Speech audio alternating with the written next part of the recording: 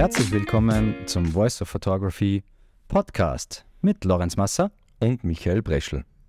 Wir sind heute in Innsbruck und haben einen Gast.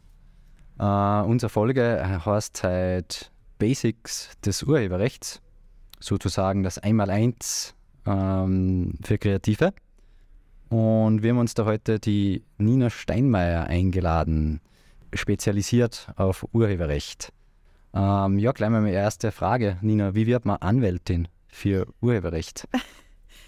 Naja, also grundsätzlich beginnt es äh, mal mit dem Jus-Studium und dann natürlich mit dem Interesse äh, an, an den, äh, sagt halt in, in dem Jargon, Immaterialgüterrechten, das heißt diese Rechte, die man nicht angreifen kann, alles was Rechte betrifft, an, sei es eben in dem Fall Fotos, äh, Film, Musik, ist, ist ein sehr, sehr spannendes Thema und ein Thema, das in Österreich leider Gottes zu wenig Beachtung hat. Und deswegen haben wir uns das dann ein bisschen auch auf die Fahnen geheftet, äh, dass wir halt versuchen, da die Rechte der Kreativen zum einen durchzusetzen, zum anderen zu stärken und zum dritten natürlich auch verständlich zu machen. Mhm. Ja, das kommt mir ja vor, also in, in Deutschland, das, das hört man ja öfter, gerade in der Musikbranche da wird schon sehr darauf geachtet, aber in Österreich ist da teilweise schon ein bisschen Willkür, oder? Das ist das Problem an den Immaterialgüterrechten, also alle Rechte, die ich nicht angreifen kann. Ich glaube, Österreich lebt ein bisschen so davon, alles, was ich in Händen halte, ist meins. Ja? Und alles, was ich nicht in Händen halten kann, weil es de facto nicht äh, präsent mhm. ist, sondern halt nur nur geistiges Eigentum ist, äh, dem wird halt leider Gottes weniger Beachtung geschenkt. Äh, ändert sich oder hat sich gerade in den letzten Jahren ähm, auch durch, durch die sozialen Medien doch ein bisschen gewandelt. Wir sind aber immer noch nicht dort, wo wir vielleicht sein sollten vom Stellenwert her. Mhm. Ähm, recht unkompliziert ist euch ein Claim. Ist das immer so? Wir versuchen es zumindest. Also ich würde mich selbst einmal als, als doch unkompliziert äh, bezeichnen, die Materie, die ich bearbeite, nicht immer, aber wir haben uns das, wie gesagt, etwas auf, den, auf die Fahnen geheftet, äh, zu sagen, wir, wir versuchen möglichst unkompliziert jemandem zu seinem Recht zu verhelfen. Mhm. Das geht halt leider Gottes nicht immer ganz so leicht, ja, nicht immer ganz so unkompliziert. Das liegt aber dann in den wenigsten Fällen an mir oder an uns, das muss ich auch dazu sagen, äh, sondern meistens an den Gegnern. Okay an den sogenannten Urheberrechtsverletzern, die eben, wie gesagt, äh, da die, die Materialgüterrechte unserer Klienten, äh, sei es äh, der Fotografen oder anderer Kreative, halt verletzen. Wie läuft denn sowas ab, wenn jetzt der Klient, in dem Sinne ein Fotograf zu euch kommt und sagt, halt, da ist was passiert, äh, das Foto wird äh, widerrechtlich mehr oder weniger verwendet und ja, jetzt haben sie Kontakt mit euch aufgenommen, mit dir und deinem Kollegen in der Kanzlei wie, wie, wie läuft das dann ab, dass man so vielleicht einen kleinen Überblick schaffen kann? Also grundsätzlich ist es meistens so, und das ist ja eigentlich das Lustige, es sind zum Großteil Zufallsfunde, die die Fotografen oder die Fotografinnen machen. Das heißt, die gehen irgendwo spazieren, sehen ein Riesenplakat, wissen genau, das ist ja ein Foto, das haben sie aber nie so zur Nutzung freigegeben oder finden es halt zufällig auf Social Media. Ist ja auch leider Gottes ein Riesenthema, dass es dort überall geteilt, geshared und was Gott was gemacht wird damit. Ähm, die sind dann die, die sich meistens zunächst einmal ähm, telefonisch bei uns melden, einfach einmal um tatsächlich herauszufinden, was bedeutet das jetzt, was kann ich dagegen machen, ja, weil viele ja gar nicht wissen, dass es im Urheberrecht sehr, sehr viele verschiedene Möglichkeiten mhm. gibt, meine Ansprüche durchzusetzen. Ähm, der bekannteste unter Anführungszeichen Anspruch ist ja der Unterlassungsanspruch, ja, das heißt, ich kann es äh, dem Gegenüber verbieten, äh, die Bilder in Zukunft zu verwenden, das heißt, er hat diese Handlungen zu unterlassen. Ich kann ihn zu einer Beseitigung verpflichten, das heißt, er muss alles beseitigen, was an äh, Werken mehr oder weniger da ist. Also das heißt, wenn der Speisekarten gedruckt hat, damit irgendwelche Plakate damit gemacht hat, kann ich das äh, verbieten lassen. Ja, ich mhm. habe aber auch, und das ist auch ein wichtiges Thema, natürlich einen Entschädigungsleistungsanspruch. Der ist deswegen so wichtig, äh, weil das natürlich äh, dem Verletzer am meisten wehtut. Das muss man auch ganz mhm. ehrlich sagen. Also der Verletzer wird mehr oder weniger dazu verpflichtet, nicht nur, dass er quasi das nachzahlt, was er eh im Vorfeld so oder so bezahlt hätte, äh, sondern auch noch einen Schadenersatz, ja, damit er halt schon merkt, dass halt diese, diese Verwendung so nicht in Ordnung war. Und da ist das Urheberrecht äh, Gott sei Dank sehr, sehr großzügig im Sinne des Schadenersatzrechtes, weil es gibt ein angemessenes Entgelt und das verdopple ich. Und das mhm. angemessene Entgelt kann durchaus, je nachdem wie die Nutzungen ausfallen, wie viele Bilder das, das sind, sehr, sehr hoch ausfallen. Mhm. Jetzt hast du aber zuerst gesagt, äh, Zufallsfunde. Gibt es irgendwas, irgendeine Plattform, wo man sich anmelden kann? Kennst du irgendwas, wo man sagt, okay, da kann man schon systematisch nach äh, seinen Bildern oder seinen Werken auch suchen? Also das ist richtig, das gibt es. Es hat, äh, ist aus Amerika vor einigen Jahren einmal rübergeschwappt. Ähm, es gibt da große, große Unternehmen, die sehr international agieren.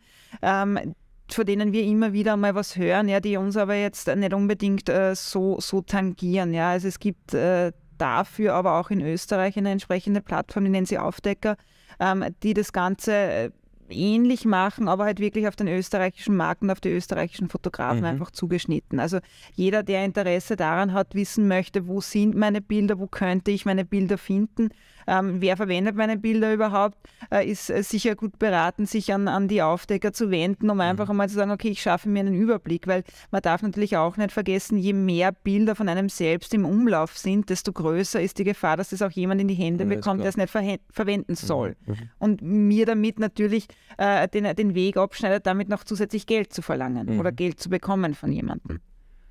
Das werden wir, werden wir auf jeden Fall verlinken. Absolut. Klingt ja. sehr interessant. Das ist ein guter Tipp, nämlich. Aber vielleicht spielen wir das Ganze mal durch. Ja? Also was, was muss ich dann eigentlich als Fotografen machen, wenn ich jetzt irgendwo auf einer Website oder irgendwo auf der Straße, wenn ich mein, mein Foto entdecke? Naja, zunächst ist es einmal sehr, sehr wichtig und unumgänglich, dass ich einfach eine Beweissicherung anfertige. Ja, das heißt, dass ich hergehe, wenn ich es jetzt äh, online finde, einmal Screenshots mache, die Screenshots am besten auch mit dem Datum hinterlege, damit ich einfach weiß, mhm. von wann sind diese Screenshots oder von wann ist die Verwendung. Äh, wenn ich draußen auf der Straße das Plakat sehe, ja gut, dann mache ich, mache ich ein Handyfoto. Also ich muss es auf jeden Fall nachweisen. Meine Urheberrechtsverletzung, die ich mehr oder weniger äh, anspruchsdurchsetzend verfolgen möchte, muss ich halt einfach klar sagen, da war das, so hat das ausgeschaut, so ist das verwendet worden. Das ist halt mein Part als, als äh, der Urheber. Ja, das, da muss ich nicht der andere frei beweisen, dass es eben nicht verwendet hat, sondern da muss ich eben genau konkret sagen, dort ist es verwendet worden.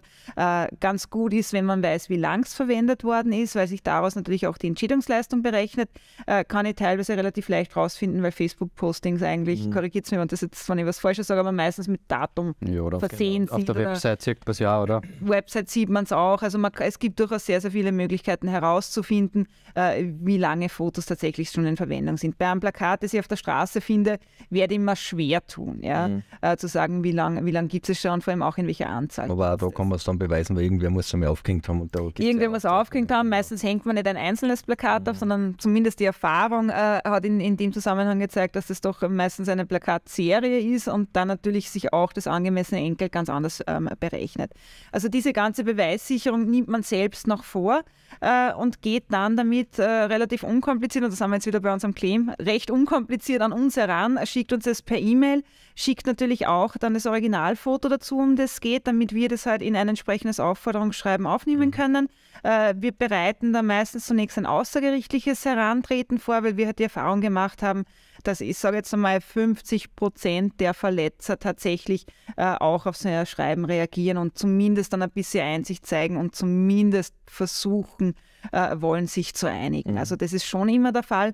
Äh, wenn ähm, hinsichtlich des Lichtbildes irgendwelche Verbindungen zum allfälligen Verletzer da sind, dann frage ich auch ganz gerne einfach äh, die Vereinbarungen ab, die vielleicht einmal getroffen worden sind. Stichwort ist dann sowas wie Tourismusverband, ja, wenn man im Tourismusverband Rechte eingeräumt hat, der es vielleicht weitergeben darf, aber nur zu bestimmten Zwecke, äh, dann prüfe ich das mehr oder weniger rechtlich schon im Voraus, um einfach mhm. auf Nummer sicher gehen zu können, dass wir wirklich tatsächlich eine Urheberrechtsverletzung haben äh, und dann nicht ins Leere irgendwo was fordern. Man hört ja, das war super ausführlich, danke. Ähm, man hört ja immer das Wort Werknutzungsbewilligung.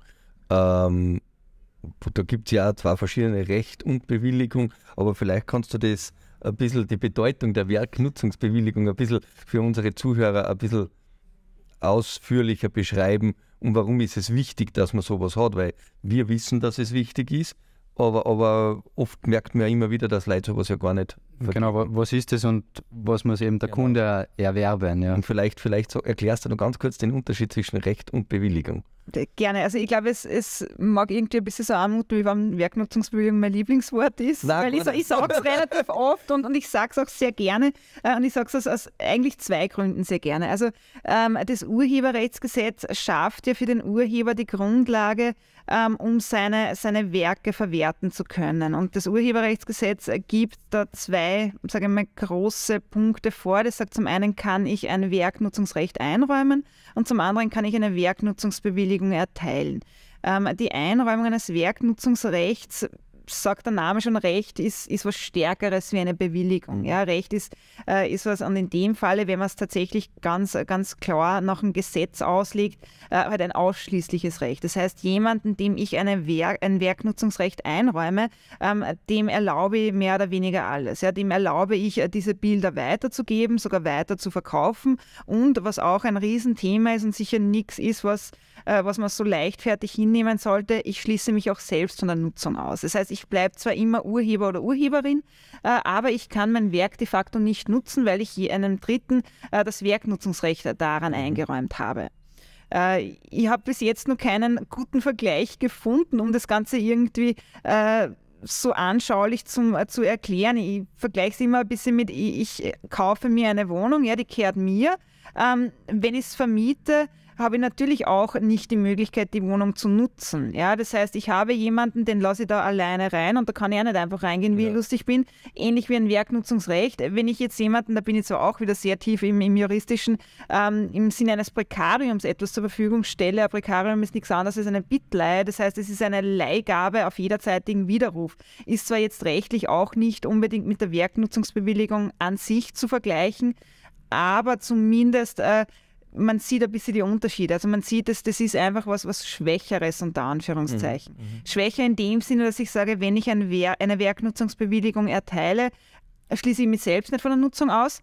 Und ich erlaube aber gleichzeitig meinem Vertragspartner, meinem Kunden auch nicht, dass er mit den Fotos machen darf, was mhm. er will, sondern ich sage ihm halt, er darf es auf seiner Homepage verwenden, er darf es ähm, in die sozialen Medien verwenden, er darf es auf, auf eine Plakatwand äh, drauf machen. Aber ich erlaube ihm nicht, es weiter zu verkaufen, weiter zu veräußern oder weiter zu, zu verschenken. Mhm, mh, mh.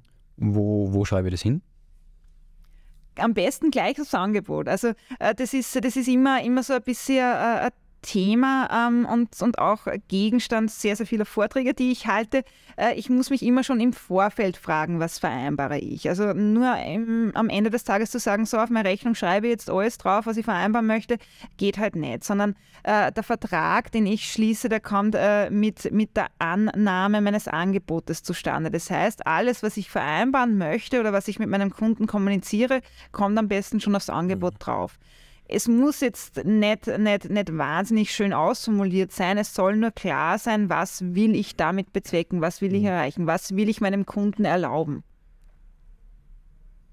Ja, ich glaube, besser kann man es eh nicht ausführlich erklären. wenn jetzt der Kunde das Angebot annimmt, ist das quasi bestätigt damit? Damit, damit, damit, kommt der Vertrag zustande, weil der Vertrag natürlich voraussetzt, dass ich zwei übereinstimmende Willenserklärungen habe. Das heißt, äh, wenn ich A sage und der Kunde sagt aber B, dann kann kein Vertrag mhm. zustande kommen. Das heißt, wenn ich sage, lieber Kunde, ich erlaube dir, meine Bilder auf der Homepage zu verwenden, aber bitte, Social Media geht nicht, weil ich möchte meine Bilder dort nicht sehen. Mhm. Ja? Und der Kunde sagt aber, na Moment einmal, ich brauche es aber eigentlich nur für Social Media, werden wir nicht zusammenkommen. Kommt der ja? Vertrag nicht zustande. Kommt der Vertrag nicht ja, zustande genau. und im Endeffekt äh, zerbricht er schon, bevor er überhaupt in irgendeiner Art und Weise eingegangen mhm. wird. Mhm. Deshalb umso wichtiger, das Ganze im Vorfeld zu klären. Also es gibt leider Gottes immer wieder äh, die, die Annahme, also quasi ich habe eh alles auf der Rechnung draufstehen und damit reicht es aus, äh, gibt aber kein korrespondierendes Angebot oder nicht einmal eine Korrespondenz davor. Mhm. Ja? Mhm. Also ich muss es auch nicht Angebot titulieren, ich kann es nennen, wie ich will, ich kann das Ganze in einer WhatsApp Korrespondenz festhalten. Mhm. Was will ich meinem Kunden geben? Ich halte ihm fest, ich mache Fotos, seien es 10 bis 15 Stück bearbeitet, ausgewählt. Äh, ich brauche dafür vermutlich einen halben Tag. Der halbe Tag kostet so und so viel und die Werknutzungsbewilligung, die ich erteile, mhm. gilt für Homepage plus was auch immer. Ja. Gibt es einen Zeitraum auch dazu, den was man angeben kann, wann man das mag oder, oder ist das dann kann ich grundsätzlich. Also äh, ich kann, ich kann eine Werknutzungsbewilligung auf mehrere Arten einschränken. Ich kann es sachlich äh, einschränken. Das heißt, ich sage, okay, in welcher Kategorie fällt es rein? Also möchte ich zum Beispiel diese Online-Nutzung, möchte ich nur ausschließlich Print-Nutzung? Das kann ich mir alles vorher überlegen, mhm. mit einem mhm. Kunden abstimmen. Äh, ich kann auch natürlich sagen, ich kann es örtlich begrenzen. Wenn, wenn ich jetzt einen großen Kunden habe, der vielleicht mehrere Filialen betreibt, äh, in, in sieben verschiedenen Bundesländern, kann ich ihm sagen, na gut, äh, die Fotos, die ich mache, sind aber nur für Salzburg mhm. oder nur für mhm. Tirol oder was auch immer. Äh, und ich kann natürlich auch sagen, ich befriste das Ganze zeitlich. Das heißt, der Kunde äh, hat nur die Berechtigung, die Bilder für drei Jahre oder fünf Jahre zu verwenden. Hat natürlich den Vorteil, dass wenn ihm die Bilder gefallen, kommt er wieder und möchte von euch Bilder haben, neue, mhm. die er dann wieder verwenden darf.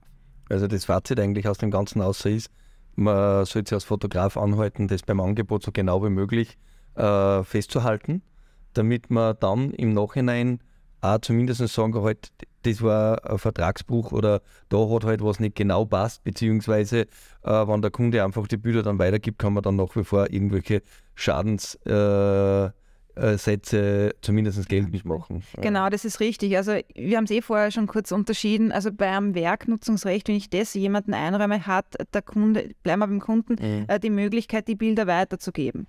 Wenn er unter Anführungszeichen nur eine Werknutzungsbewilligung erteilt bekommen hat, kann er das nicht machen. Mhm ergibt sich klar aus dem Gesetz. Den Kunden ist es leider Gottes nicht immer ganz so klar, zumindest kenne ich so aus der Erfahrung. Äh, es empfiehlt sich durchaus, äh, dem Kunden das auch durch die Blume mitzuteilen und einfach zu sagen, weit, allfällige Weitergaben äh, sind gesondert mit dem Fotografen, mhm. mit der Fotografin zu vereinbaren und natürlich auch gesondert honorarpflichtig, weil äh, denk mal an den Architekturfotografen, äh, der für einen Bauträger Fotos anfertigt, ähm, der Bauträger hat äh, viele Professionisten auf der Baustelle, äh, die haben auch alle was von den Fotos. der Fotograf hat mhm. nichts davon, wenn der Bauträger die Fotos dann austeilt. Ja, das ist klar. Ja, mir passiert das eigentlich auch ständig. Ja. Bei, mhm. bei Hotelfotos, ja, dann, dann meinen die Hoteliers, sie können es jetzt jedem Gewerk weitergeben ja. und sind dann immer ganz erschüttert Sonst hast du doch nicht, ne? Ja, wenn man es ihnen ein bisschen erklärt, dann sind es meistens eher einsichtig. Ist, ja. ist, ist so der Klassiker und da sind wir eigentlich genau wieder bei dem, was ich ganz am Anfang gesagt habe. Also diese, diese, dieser Stellenwert des Immaterialgüterrechts. Ich vergleiche es dann immer äh, eher damit, äh, gerade wenn was Hotels betrifft, sage ich, ich gehe auch nicht in dein Hotel und isst da jetzt äh, zu Abend und gehe wieder und sage, naja, ich habe eh glaubt, dass gratis ist. Funktioniert halt auch nicht. Ja? Und genauso wenig funktioniert es aber halt auch äh, mit, mit der Weitergabe von Bildern, wenn ich es nicht mhm. explizit vereinbart habe. Man muss leider Gottes darauf hinweisen. Ja, ja jetzt werden wir ein bisschen auf die Zeit schauen müssen, ähm, aber wir werden auf jeden Fall zu dem Thema nochmal eine ausführliche Folge machen, glaube ich. Gerne, ja, hoffentlich. ähm, ja, aber da haben wir noch eine interessante ja. Frage. Äh, wie funktioniert denn die Namensnennung? Namensnennung ist auch ein Riesenthema. Ähm, gerade bei uns auch in der Rechtsberatung, weil äh, gerade durch, durch die ganzen sozialen Plattformen halt natürlich der Werbewert sehr, sehr gestiegen ist für, sage ich mal, unter Anführungszeichen Fotografien, die sich halt schön verbreiten. Äh, da wünscht man sich als Fotograf oder als Fotografin natürlich, äh, dass man genannt wird. Und, und sehr, sehr viele haben da ein bisschen diese Fehlinformation im Kopf, dass es mehr oder weniger gefallen ist, dem man mein Kunde tut oder derjenige tut, äh, der das Bild veröffentlicht ähm, dass er dann meinen Namen gnädigerweise mhm. dazu schreibt und dann damit ja für mich auch Werbung macht, ähm, ist der falsche Zugang, weil das Ganze ist gesetzlich geregelt. Also es gibt ein Namensnennungsrecht, das natürlich jeder Veröffentlicher, jeder Verwender zu wahren hat. Mhm. Das heißt, er muss mich dann, wenn mein Foto mit meinem Namen bezeichnet ist, komme ich dann, glaube ich, ganz kurz noch drauf, äh, wie das jetzt mit Metadaten und Exif-Daten ja. und so weiter äh, ist oder beziehungsweise seit einigen Jahren ähm, gehandhabt wird, muss er mir natürlich auch nennen. Ja? Ähm, einfach um mir halt mein, meinen gesetzlichen Anspruch ja, entsprechend mhm. zu, zu erfüllen. Ist, ist leider Gottes in, in, der, in der Branche ein Unding geworden, dass man das macht. Ähm, man sieht das oft, dass die Kunden sagen, ja, damit tue ich dir ja einen Gefallen, das muss ich aber nicht tun. Stimmt so, wie gesagt, nicht. Ja, in dem Moment, wo ich mein Foto mit meinem Namen bezeichnet habe, also eben in den, mittlerweile sind wir ja bei den digitalen Bildern, in den Metadaten, in den EXIF-Daten, ähm, dann kann ich von jedem dritten Veröffentlicher verlangen, dass er meinen Namen entsprechend auch nennt, mhm. nämlich in ausreichender Verbindung zum Lichtbild. Äh, sprich, wenn, wenn der eine Homepage hat und auf der Homepage sind zehn verschiedene Fotografien drauf von fünf verschiedenen Fotografen, dann muss das im besten Fall beim Lichtbild direkt mhm. dabei stehen. Jetzt sieht man aber total oft, wenn man irgendwas, irgendwelche Sachen anschaut, wo einfach äh, nur der Unternehmensname steht und kein Fotograf. Äh, wie schaut das da aus? Weil eigentlich äh, sieht man es dann auch immer wieder, wo der, das Unternehmen mit Schrägstrich und dann kommt dann der Fotografenname äh, wie, wie, wie, wie ist das da die Situation? Weil das sieht man wirklich oft, wo einfach dann steht, äh, Foto XY, das ist der Unternehmensname. Genau, das, das ist richtig. Ich glaube, dass es auch sehr, sehr viele Tourismusverbände auch so angehen, dass die als erster den TVP nennen und dann Schrägstrich und den Fotografen. Ähm, es ist natürlich so, dass jeder gesetzliche Anspruch, äh, den kann ich bis unter Anführungszeichen zur Grenze der Sittenwidrigkeit einvernehmlich abändern. Und es hat sich halt leider in der Branche eingeschlichen, äh, dass sehr, sehr viele äh, die, den Kompromiss eingehen und sagen, naja, wenn mich der schon gar nicht nennt, dann lasse ich mir halt auf das ein, dass er sich selbst nennen darf und gleichzeitig nennt er halt mich nach einem Schrägstrich oder nach einem Bindestrich oder nach was auch immer dazu. Aus meiner Sicht ist es nicht richtig, vereinbaren kann es aber. Und ich hoffe halt dann, wenn ich das vereinbart habe, dass ich zumindest äh, noch ein zusätzliches Entgelt mhm. dafür lukriere, dass ich eigentlich ja auf ein mir zustehendes Recht verzichte. Ja. Und das heißt, wenn aber das Unternehmen, nur das Unternehmen da steht, ohne Schrägstrich und ohne Fotografennamen, dann haben wir wieder genau dort, er nennt die nicht. Das heißt, im Prinzip verletzt er da unser Recht Ganz, genau, ganz verletztes, Recht, verletztes Recht auf Namensendung, mhm. außer ich habe mit dem vereinbart, dass er es so machen darf. Ja, okay. Gibt es immer wieder, ich kenne kenn Kollegen und Kolleginnen für euch, die sagen, okay, äh, ich verzichte darauf, dass ich genannt werde, aber dafür kostet es halt 20 Prozent ja. mehr oder 30 Prozent mehr, weil was man nicht vergessen darf, man verzichtet halt auch auf diese Werbewirkung, die ich ja damit Hot, erzielen ja. kann. Okay, ja, ist schon klar. Ähm, ja, wobei meiner Meinung nach ist es ja eher, eher die Ausnahme, ja, dass wirklich ja. passt. Ja, meistens ist es wirklich so, dass der Unternehmensname da steht und that's it. Ja. ja. Also ich bin eigentlich schon happy, wenn, wenn so eine Doppelnennung ist. Ja. Ich hab's also, ich persönlich habe es im Angebot drinnen stehen, ja. Aber ich habe es eben im Angebot drinnen stehen. Ja. Und das ist eben bei den Tourismusverbänden auch wieder sehr wichtig, ja. Weil wenn man das nicht im Vorhinein klärt, da im Nachhinein wird es dann schwierig. Klar, also grundsätzlich ist es ein gesetzlicher Anspruch. Das heißt, ich kann äh, im Vorfeld natürlich darauf verzichten, nur ich muss halt nachweisbar darauf verzichten. Mhm. Ja, da hilft zwar nichts, wenn man der Kunde sagt, ja, aber du hast mir irgendwann einmal gesagt, ja. dass du das eh nicht magst. Hilft nicht. Ja.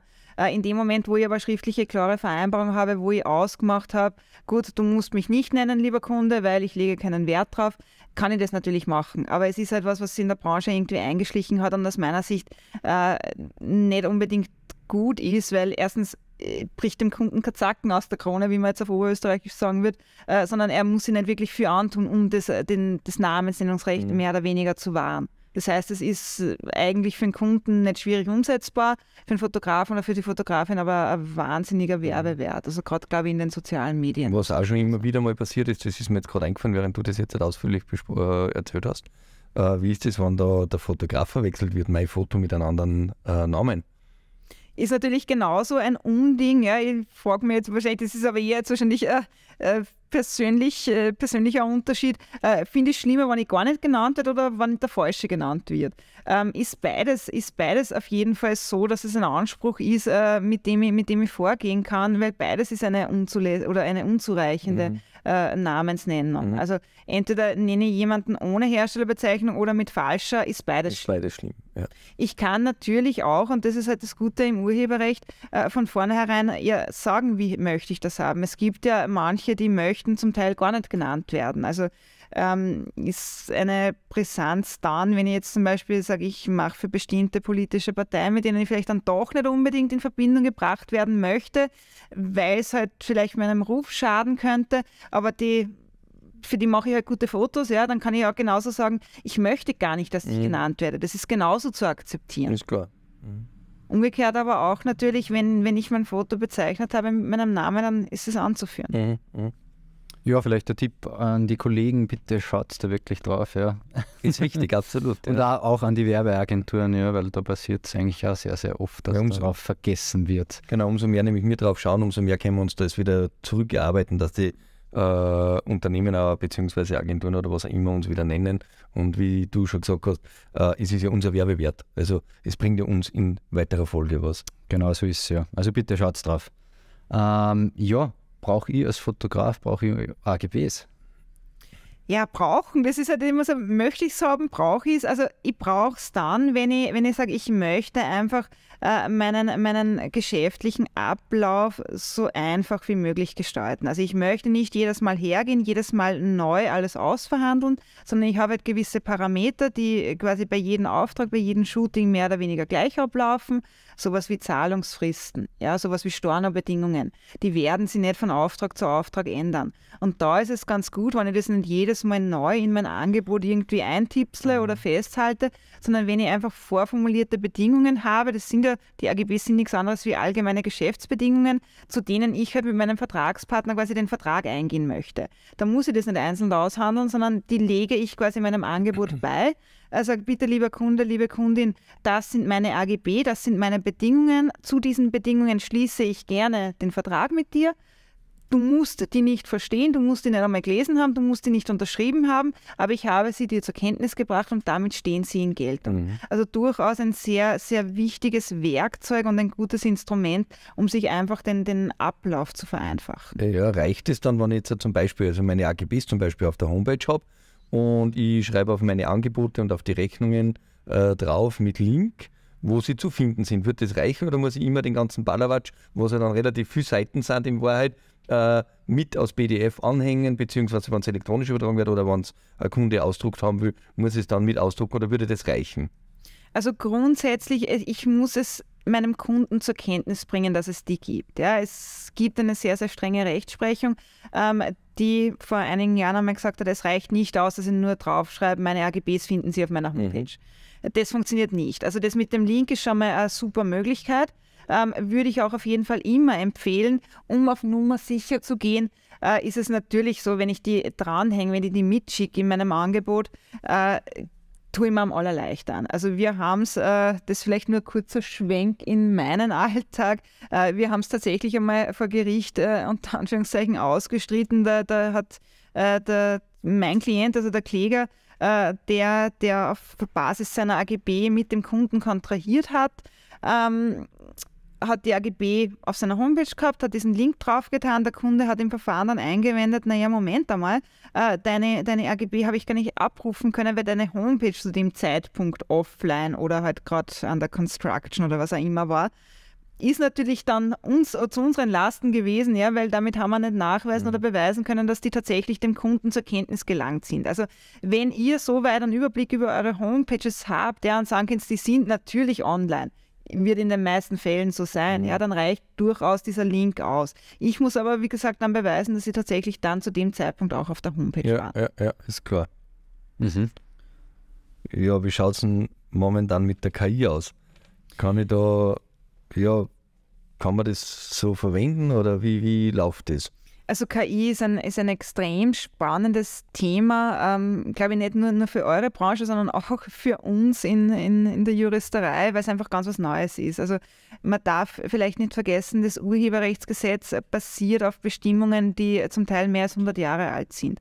Da hat sie, hat sie noch keiner Gedanken drüber gemacht, äh, was funktio wie funktioniert es, wenn, wenn der Urheber kein Mensch mehr ist, sondern halt auf einmal eine künstliche Intelligenz, eine wenn man so will, Maschine oder was auch immer.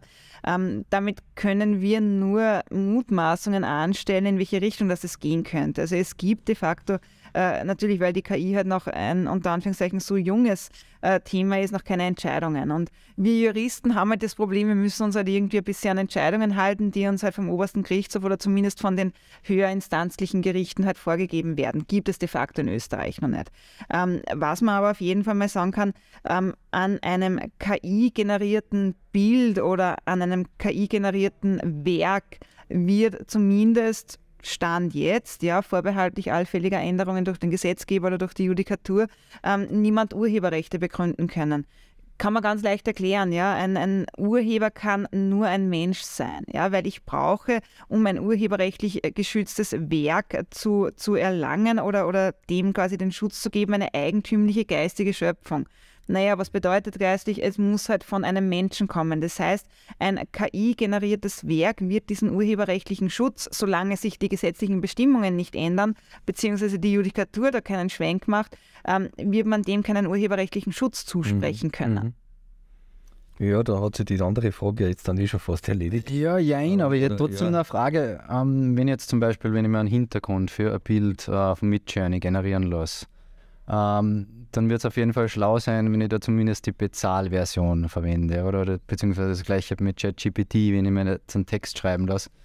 Dann wird auf jeden Fall die Bezahlvariante schon mal einiges besser sein, wie wenn ich jetzt nur, nur die Free-Version habe, oder? Ist sicher ein Riesenthema, liegt aber dann daran, weil grundsätzlich an diesem Programm, ja, das dann ja weiter das generiert, äh, hat ja jemand einen urheberrechtlichen Schutz, weil auch Softwareprogramme können mhm. urheberrechtlichen Schutz genießen. Das ist ja mittlerweile seit einigen Jahren doch relativ klar ausjudiziert. Also das gibt es ja.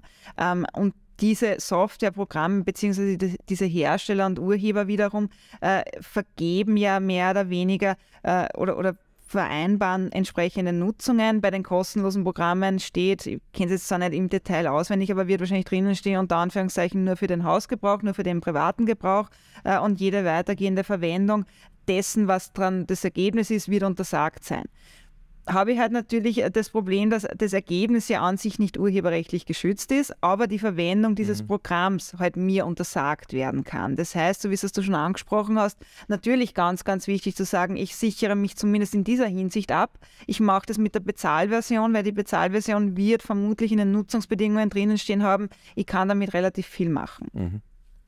Ähm, ja, nochmal zur Gesetzgebung. Wird da schon aktiv an Gesetzen gearbeitet oder wird das jetzt nur Jahre dauern? Also aus meiner Erfahrung heraus wird es sicher noch dauern. Wir haben natürlich ähm, zum einen die EU, die, die gerade im, im Urheberrecht da ziemlich viele Vorgaben machen kann und machen muss. Das heißt, alles, was uns äh, die, die EU mehr oder weniger mit Richtlinien vorgibt, und da gibt es sehr, sehr umfassende Richtlinien, müssen natürlich dann auch in österreichisches Recht umgesetzt werden. Mhm. Das kann sehr, sehr lange dauern. Ähm, man hat es gesehen, bestes Beispiel war die Urheberrechtsgesetznovelle, die eigentlich 2021 schon in Kraft treten hätte sollen, mit 1.1.2022 dann tatsächlich auch in Kraft getreten ist, ähm, die sich aber eher mehr mit dem Urhebervertragsrecht beschäftigt als mit, mit diesen neuen, äh, neuen unter Nutzungsarten. Ähm, wird sicher noch etwas dauern, wird aber zumindest in der Rechtsprechung relativ bald aus meiner Sicht einmal ein Thema werden, weil spätestens dann, äh, wenn irgendwer irgendwelche Rechte behauptet oder Ansprüche durchsetzen will, die auf Basis von so einer KI halt entstehen. Ja? Also in dem Moment, wo jemand hergeht und sagt, okay, das ist mein Werk, das genießt urheberrechtlichen Schutz, ich bin der Urheber und ich verbiete einem Dritten die Verwendung dessen, wird man das erste Mal darüber streiten und dann wird sich das erste Mal ähm, die österreichische Rechtsprechung darüber sicher Gedanken machen müssen. Und das wird sicher ganz, ganz spannend mhm. werden. Ja, wir werden auf jeden Fall dranbleiben. Ähm, jetzt sind wir aber leider schon am Ende. Ja, eine kleine kurze Frage habe ich schon. Okay. Weil wir wissen es, viele Zuhörer vielleicht nicht. Du bist ja eine von zwei Anwälten beim RSV. Kannst du ganz kurz umreißen, was ist der RSV und warum ist der eigentlich für uns Fotografen so wichtig? Also der, der RSV ist abgekürzter Rechtsschutzverband der Fotografen Österreichs. Das ist eine, ein Verband, ein Verein, der sich vor mittlerweile so jetzt müsste sie liegen, wenn ich es jetzt wisst. Äh, ich glaube 1969 gegründet worden ist, korrigiert es mich, wenn ich, wenn ich was Falsches sage, äh, der, der schon sehr, sehr lange besteht und der ähm, den, den Mitgliedern, und das sind, ähm, abgesehen von, von Niederösterreich, sämtliche Landesinnungen, äh, Rechtsschutz bietet. Das heißt, äh, der steht den Fotografen und den Fotografinnen zur Verfügung in Eintreibungsangelegenheiten. Das heißt, wenn ich ein Problem habe, dass mein Kunde Rechnungen nicht bezahlt, aber genauso auch in Urheberrechtsangelegenheiten. Das heißt, äh, wenn ich irgendwo mein Bild äh, verwende, äh, oder finde, das verwendet wird von jemandem, der es nicht verwenden darf, kann ich mich genauso an den RSV bzw. an uns als Verbandsanwälte wenden und wir können uns da kostenfrei für die Mitglieder darum kümmern, dass da was weitergeht und dass die Ansprüche entsprechend durchgesetzt werden. Äh, genauso wie für allgemeine Rechtsberatungen stehen wir auch zur Verfügung. Ist auch ein, ein Service, den der RSV bietet, dass man einfach den, den Fotograf und den Fotografinnen die Möglichkeit bietet, sich in Rechtsfragen an uns quasi zu wenden. Genau, das ist, und das, du hast das eh gerade gesagt, das ist, glaube ich, nochmal ganz wichtig zu erwähnen, dass das eben für die Berufsfotografen, die ein Gewerbe angemeldet haben und Kammumlage zahlen, äh, kostenlos ist. Äh, und alles andere muss man sich dann eben mit euch ausmachen, denke ich. Aber ich glaube, das war einfach ganz wichtig, dass man mal hört, Auf jeden äh, Fall, ja. was es ist. Und das, äh, ja, ich glaube, das zum Schluss passt eh perfekt. Absolut, ja. Also, wie gesagt, äh, Nina. Ja, perfekt, dass du Zeit gehabt hast und ich freue mich schon auf unser, unser nächstes Treffen, weil da werden wir auch wieder über verschiedene oder ein bisschen detailreichere Sachen besprechen, weil ich glaube, dass das einfach ganz wichtig ist für unsere Zuhörer, auch aus der Seite zur Fotografie ein bisschen was mitzubekommen. Und ja, ist einfach unser großes Anliegen. Ich denke dir auch. Und für den RSV sowieso auch eine ganz super Geschichte, weil die Leute ja sowieso dabei sind. Ganz kurz noch, Nina, wie kann man die erreichen am besten? Also mich finde, meine Kontaktdaten findet man auf der RSV-Homepage, die hoffentlich auch jedem bekannt ist, weil da findet man abgesehen vom Honorarrechner einen großen Download-Bereich und wie gesagt auch meine Kontaktdaten. Ähm, wir haben eine relativ leichte E-Mail-Adresse, die man sich, glaube ich, merken kann, eine relativ leichte Homepage. Die Homepage lautet www.sp-r.at und unsere E-Mail-Adresse ist office.sp-r.at. Ihr findet uns aber, wie gesagt, auch auf der RSV-Homepage unter den Kontakten. Ja, super. super. Dann vielen Dank für deine Zeit. Wir packen alles in die Shownotes, damit unsere äh, Zuhörer das alles finden und sagen herzlichen Dank und freuen uns aufs nächste Mal. Danke, Nina. Sehr, sehr gerne. Dankeschön.